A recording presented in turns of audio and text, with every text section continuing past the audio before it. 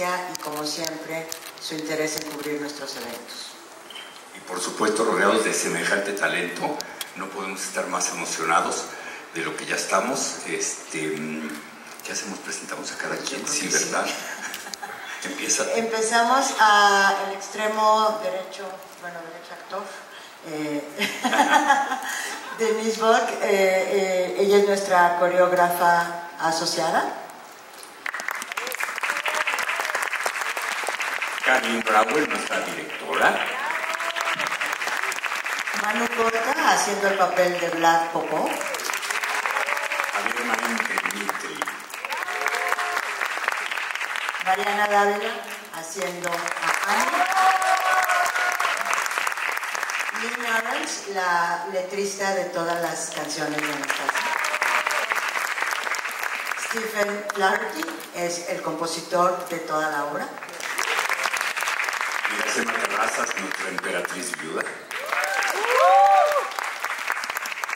Carlos. Ay, se me puso.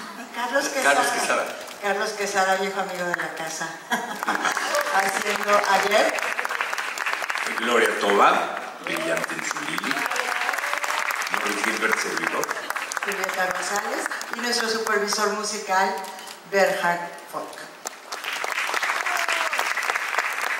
Qué emoción tener aquí a los autores. Eso es realmente eh, para Ripley. La verdad, para Ripley estamos muy honrados. We're so honored you're here, our dear authors and this fantastic team.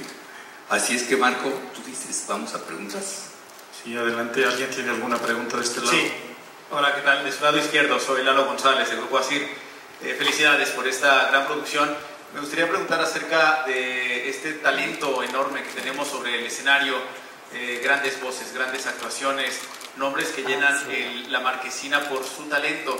Eh, hay muchas veces que a lo mejor el público, eh, no sé, está una parte del público acostumbrado a leer estos nombres de, de las superestrellas, el pop y tal, y no se necesita más que el talento justamente para poder llenar la marquesina. ¿Qué, qué, qué opinan de esto? De, es un, de verdad un semillero de talento lo que hay ahí.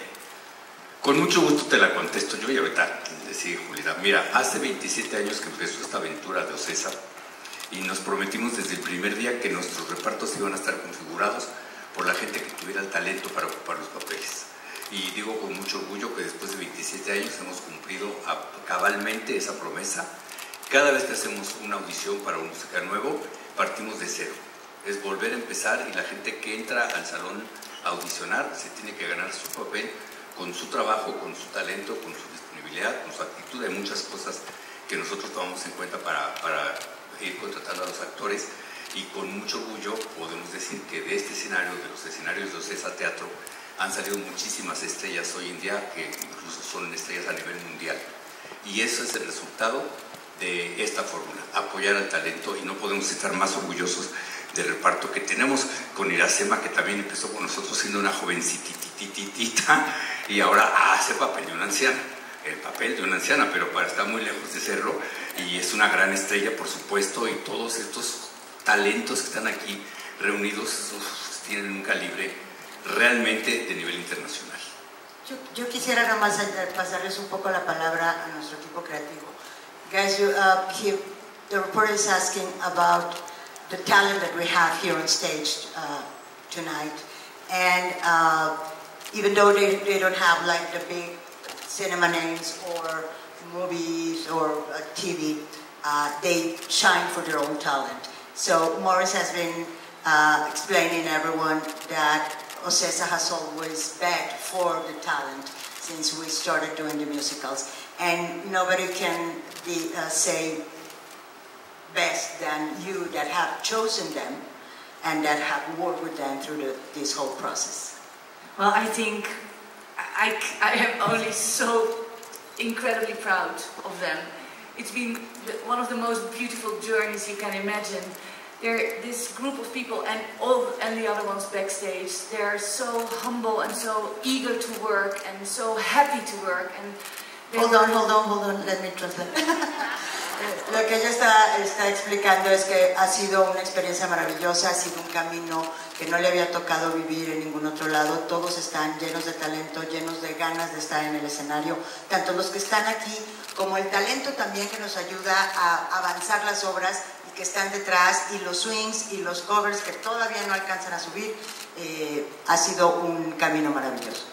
No egos, just working hard and loving the play and trying to raise the bar every day and get better and better. No ha habido egos que se interpongan, simplemente quieren dejar una huella muy alta para todo lo que siga y aman la obra y continúan a trabajar más y más cada vez. I just have to mention that all of these people up here are triple threats. That means they do the acting, the singing, and the dancing. So when we're auditioning for people, they might score very high on one thing, but then lower on another. So the people that we've chosen are really exceptionally talented. Lo que Denise eh, les quiere comentar también es que estos, eh, todos este, esta compañía tiene los tres talentos, cantan, bailan y, eh, y actúan. Y es difícil, de verdad, es difícil encontrar en una compañía, lo hemos vivido, llevamos 26 años haciendo esto. Eh, no empezamos así, no empezamos en este mismo lugar. Había gente que podía actuar, había gente que podía cantar. En algunas ocasiones los bailarines no cantaban, teníamos que tener eh, cantantes de cabina. Pero eh, hemos llegado ya a un momento en donde nuestros, uh, nuestros actores, en fin, todo el talento que está allá afuera está súper preparado y están aquí haciendo, haciendo y dándolo todo. Yes, uh, I'm, I'm sort of surprised because those talents who are sitting here, if they haven't been stars yet, they are from tonight on. Dice que está muy sorprendido que este talento, estas estrellas que están aquí ahora, si no han sido estrellas todavía, empiezan a ser estrellas esta misma noche.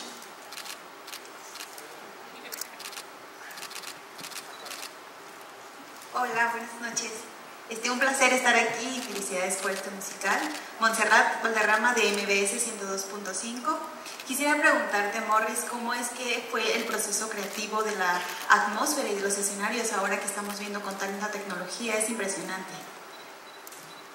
Mira, la verdad del asunto es que no habíamos vivido un proceso como este. De verdad, este ha sido el proceso más amoroso, más encantador desde el primer día, desde el primer instante que empezamos a ensayar todo ha fluido de una manera mágica. Estoy, ahora ya lo puedo decir porque uno se vuelve muy supersticioso en el teatro y luego no dices nada porque apenas lo dices pasan cosas malas. Pero como ya estrenamos esta noche, el proceso ha sido mágico. Realmente la atmósfera que se ha creado entre todo el equipo de trabajo es algo sin parangón. Yo no recuerdo haber vivido un proceso como este. Entonces, ojalá que eso se transmita al público y no puede ser mejor experiencia que la que hemos vivido hay una cosa muy importante, obviamente usamos muchísima tecnología, eh, porque el teatro, el mundo de hoy nos exige avanzar tecnológicamente. En este caso nunca he visto la tecnología aplicada en el teatro mejor, porque el problema de la tecnología es que muchas veces puede comerse al espectáculo, a la obra, a la temática y desaparecer todo lo demás, porque pues es muy fácil. Y aquí todo está puesto al servicio de la historia, al servicio del espectáculo, con un talento, con una genialidad el equipo creativo es maravilloso. Eh, Don Holder es verdad. Ustedes no lo saben, pero nuestro iluminador se llama Don Holder. Es un señor que ha ganado Tonys, que tiene una carrera impresionante, que es de los mejores iluminadores teatrales del mundo. Y aquí ha estado los últimos días pinceleando cada milímetro y cuidando que la, obra busca muchísimo. Les recomiendo mucho ahora que la vean, que se fijen mucho en la iluminación. Que además de todas las virtudes que tiene este espectáculo, la iluminación es una cosa que se corta la respiración. Y así está cuidado todo, toda la tecnología al servicio de Anastasia. Muchas gracias. Hola, ¿qué tal? De su lado izquierdo, Nancy Méndez acá del periódico Excelsior. Muchas gracias. Me gustaría preguntarle Morris y em, acerca justo también de la tecnología. Me parece que es una tendencia ahora en el teatro combinar un poco lo teatral y hacer proyecciones, ¿no? ¿Cómo también eh, consideran que esto pues está enriqueciendo justo al teatro como tal, ¿no? Y a los actores, al elenco, si me pudieran contar un poquito acerca, nos pudieran contar del mayor desafío que han tenido al interpretar a cada uno de sus personajes. Bueno, en ese respecto al uso de la tecnología creo que ya lo respondí. Yo sentado viendo los ensayos muchas veces me olvido que tenemos una pantalla y me he preguntado, ¿de dónde salió eso? Porque es tan maravilloso, tan magistral que lo ves corpóreo. Está muy bien hecho, ya lo verás. Actores. Hola. Nancy. Qué gusto verte. Ay, me emocioné.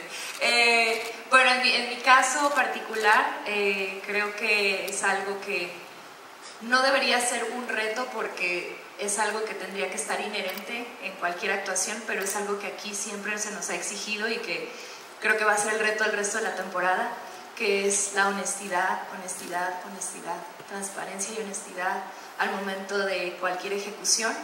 Y creo que en lo personal la honestidad requiere vulnerabilidad.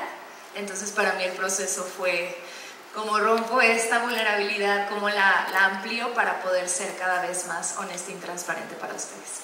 Eso, mi parte. Hola, ¿qué tal? Buenas tardes, Carlos Quesada.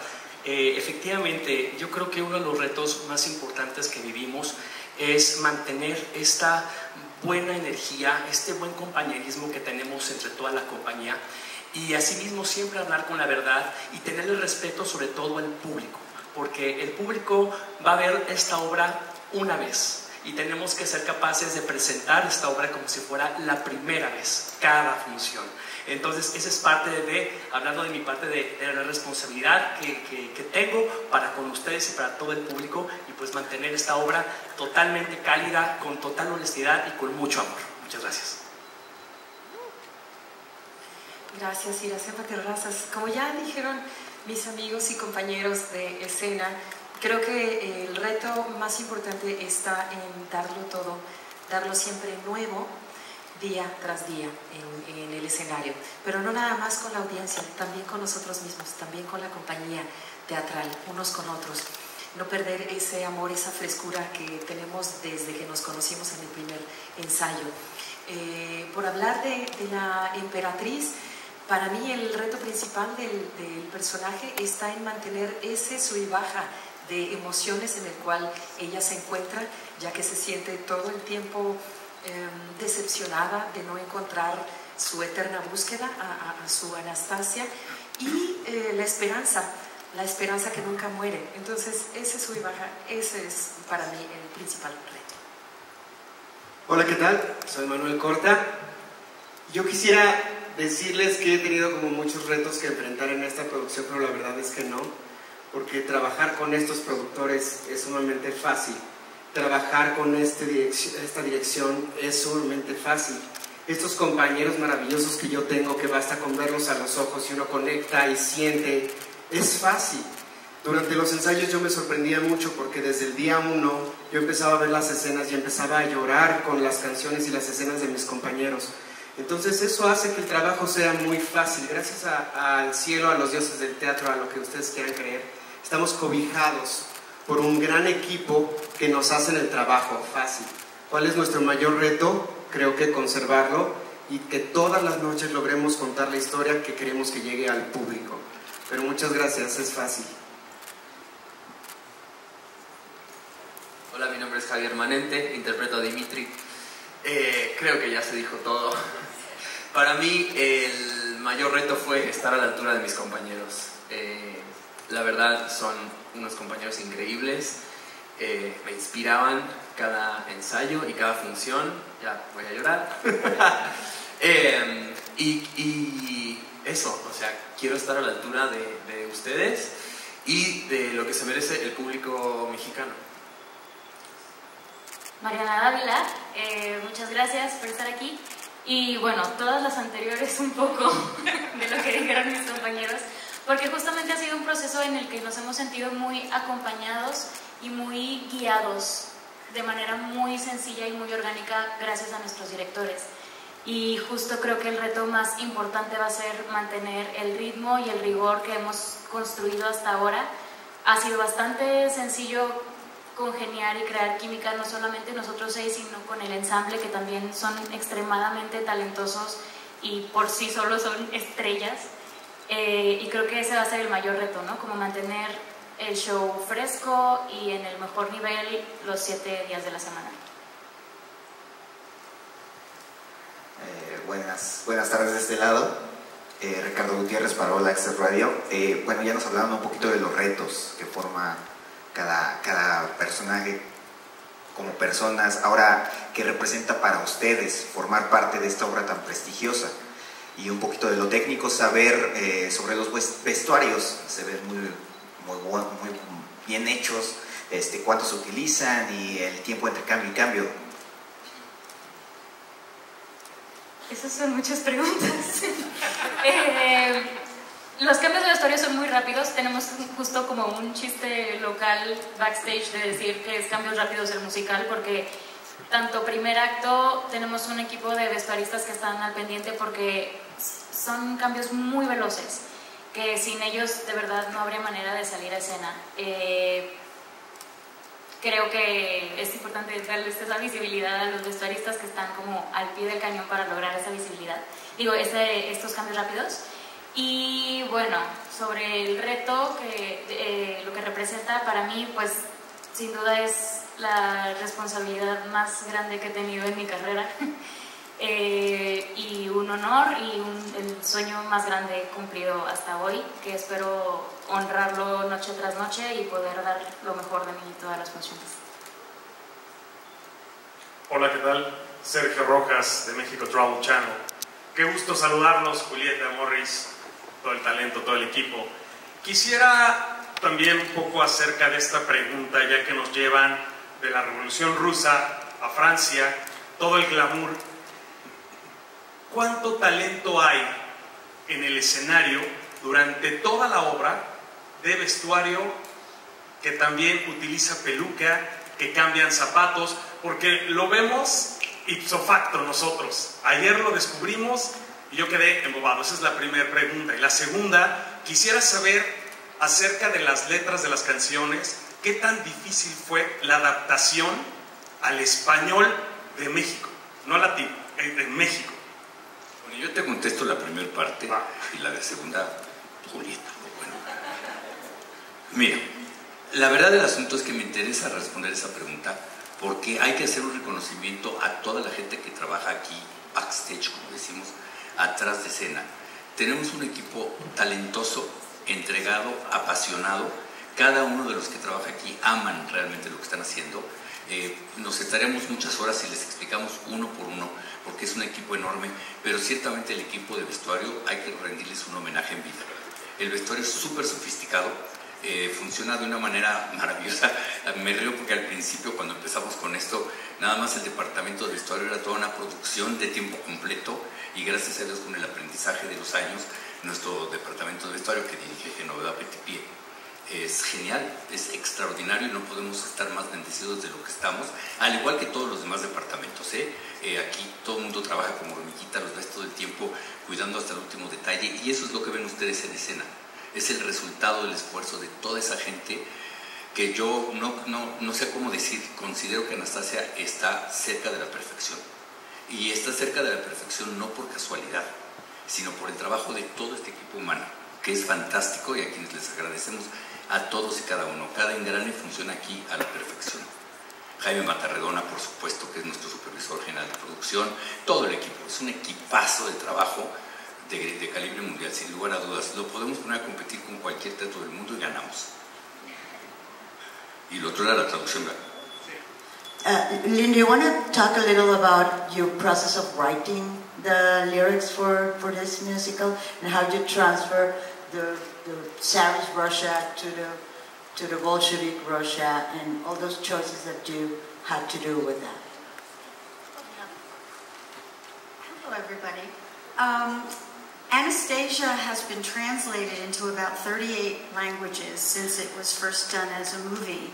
Anastasia fue traducida ya a casi 38 idiomas desde que se convirtió en una película. Ellos dos originaron eh, la escritura del musical y la escritura de la partitura desde la película animada. And um, as the lyricist, uh, it, it, it, fell to me over these many years to um, oversee all, a lot of different translations because the show has been all over the world since, since, since Broadway and yeah. since it was a movie. Yeah. Como, como escritora de las letras, como letrista de todas estas canciones, a ella le toca supervisar las traducciones que se han hecho desde la película y de las producciones que arrancaron después del estreno en Broadway. And one of the beautiful things about this show is that uh, the, the, source material, which is the, the legend of Anastasia, which is a very romantic legend all over the world that people have been enamored of for years, one of the beautiful things is that it's very poetic. And when something is very poetic, it lends itself to lyricists to turn into to songs. Dice que tiene la fortuna de, de que el material de base de Anastasia es una historia hermosa, una historia romántica, un mito que se ha contado a lo largo de generaciones y que para ella ha sido muy sencillo escribir las letras de estas canciones y que llaman al, al corazón de casi todo el mundo. There's, there's the romantic Russian history of the glorious Romanov court and clothes that you see, and uh, the glamour of those days. There's the passion and the fire of a revolution. There's the grim reality of the new Russia. And then there's the adventure of escaping from that world to beautiful Paris in the 20s. And at the center of it all is romance. So I think you could all write a musical about that. The, the material is very, very rich.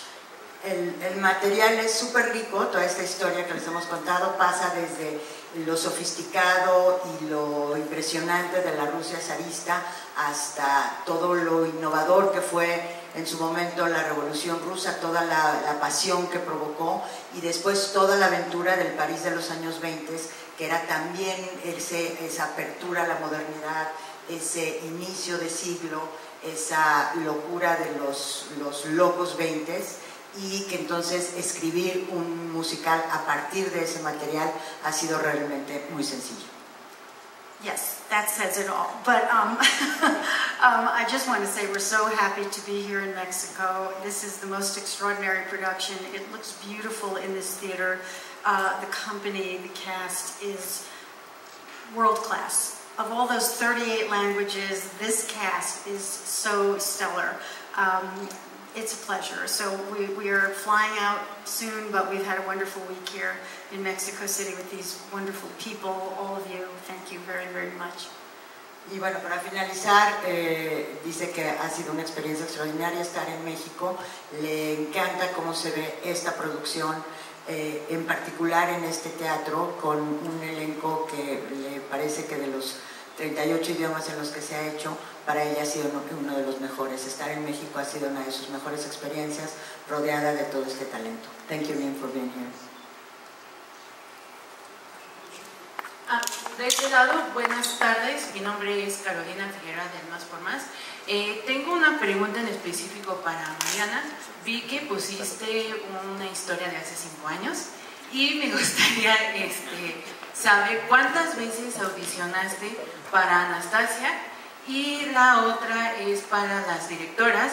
Eh, que me gustaría saber qué opinan de trabajar con talento mexicano. Gracias. Okay. Ah, ah. Eh, bueno, sí, justo hace cuatro años hicieron la primera convocatoria para este show. Desafortunadamente no se pudo realizar en ese momento. Eh, yo vine a audicionar, todavía vivía en Monterrey, yo soy de Monterrey, tengo tres años y medio viviendo aquí. Eh, vine a audicionar, me cortaron el primer filtro, eh, pero seguí preparándome, tomando clases. En algún momento tomé la decisión de, la loca decisión de venir a vivirme acá, renunciar a mi trabajo y a intentar como dedicarme a esto full time. Y pues después de ese trabajo vuelvo a audicionar cuando sale la convocatoria a mediados del año pasado y creo que ahora que lo veo en retrospectiva no hay manera en la que yo hace cuatro años hubiera podido estar en este escenario haciendo lo que ahorita se me exigió en el proceso de una manera muy amorosa y, amable.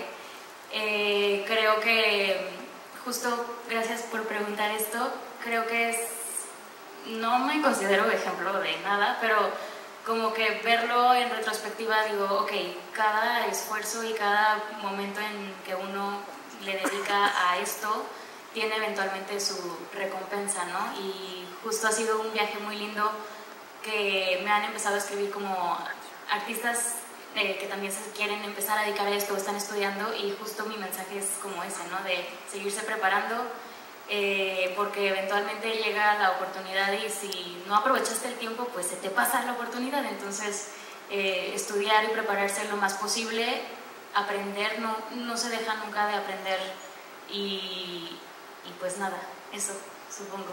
Gracias. And uh, she also wants to know, and I'm pass uh, the mic to Carlene and Denise and then to Bernard, what, which has been your experience, like living these two months in Mexico, among Mexicans and among the Mexican talent? They don't know how good they are. No saben qué tan buenos son, ellos mismos no lo saben. They're very um, humble, really very humble, and Son muy humildes and they, they don't realize that their level is really very high. And we can compare because we work in a lot of um, countries in the world. no se dan cuenta del tamaño de ese talento, nosotros lo podemos ver porque hemos trabajado en todo el mundo y podemos hacer el comparativo con otros países. But we quite love it that they have this humble um, attitude. So Me thank you for esa guys. actitud de humildad que, que han mantenido a lo largo de todo el, el periodo de ensayo. I will say the same thing, but I'll add their humor. We have had such a great time. Una cosa que agradezco muchísimo más allá de lo que ya dijo Carlene es que eh, son, tienen muchísimo sentido del humor. He pasado un tiempo maravilloso riéndome entre ellos. Yeah, mu- musically, this is the first cast sitting here where I felt like we won't have any vocal problems. It's really hard to sing. It's very specific, and usually it takes a lot of work to make that happen. But they came with so much talent, and it was a really easy work for me. And um, the other thing is just um, pasión y corazón. Bueno, dice que esta es una partitura muy difícil, generalmente toma mucho tiempo que eh, llevar a- al elenco a- al lugar donde la partitura exige y en este caso llegaron con un talento de tal tamaño que se dio cuenta de inmediato que no iba a ser, no le iba a costar tanto trabajo y que el trabajo fluyó eh, de manera sencilla. Morris, Julieta, eh, el resto del equipo, muchas gracias por su tiempo. No sé si quieran eh, compartir algo más para finalizar con la prensa. Sí, voy a compartirles solamente una cosa. Todos nuestros artistas aquí son excelentes, por supuesto, pero voy a hablar de Carlos Quesada hoy, porque quiero hablar de Carlos Quesada. Miren, Carlos trabajó con nosotros primero en El Rey León, después en Los Miserables, siendo cover de los papeles eh, estelares. Eh, cuando uno ve el programa actor cover, muchas veces no se entiende lo que eso significa. El cover es el que salva la temporada. Y Carlos en esas dos temporadas salvó literalmente las dos temporadas, tanto del Rey León como de Los Miserables, interpretó los roles estelares infinidad de veces y nada nos da más gusto que hoy tú tengas el papel titular, Carlos. Lo tienes más que merecido y te felicitamos.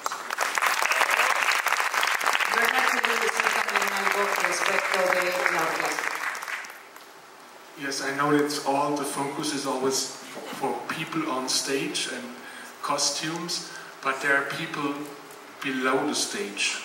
And I think that's very special in that show. It's a big orchestra playing live.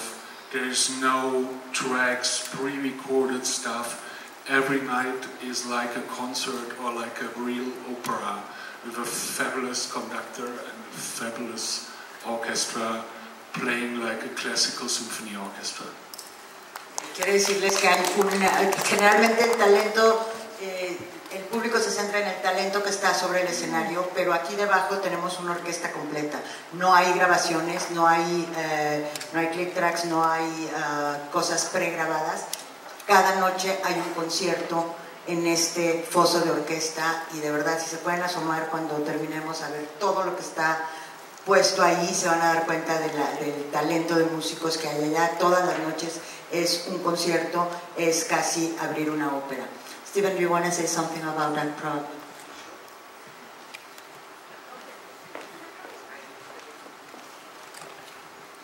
Y- Yes, the, the thing that I've devoted my life to uh, is the musical theater. And the, one of the reasons I did that, uh, and I continue to do it, and I am moved by it, is that it is about getting a group of people together in an audience, on the stage, in the pit, to create music, to share emotions, to share joy, to share hope, and to share who we un are.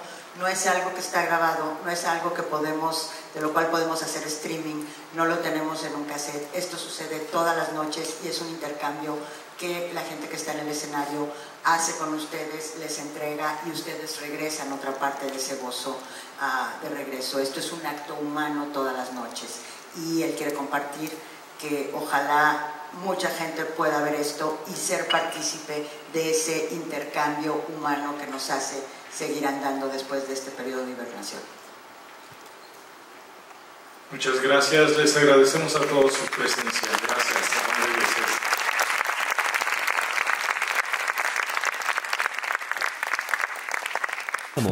Boyforme.com, un lugar para ti, un sitio donde tú eres la voz y nosotros el medio. Aquí encontrarás toda la información que necesitas conocer del ambiente gay en México y en el mundo. Noticias del medio LGBT. Queremos ser tu guía para disfrutar la vida gay. Queremos ser un lugar para ti. Boy for Me. www.boyforme.com. Entra al sitio, infórmate, opina y diviértete.